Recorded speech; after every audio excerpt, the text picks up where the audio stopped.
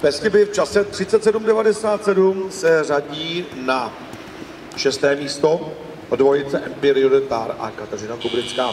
Poslední dvojice před přestávkou Gwen Bět a Josef Mareček.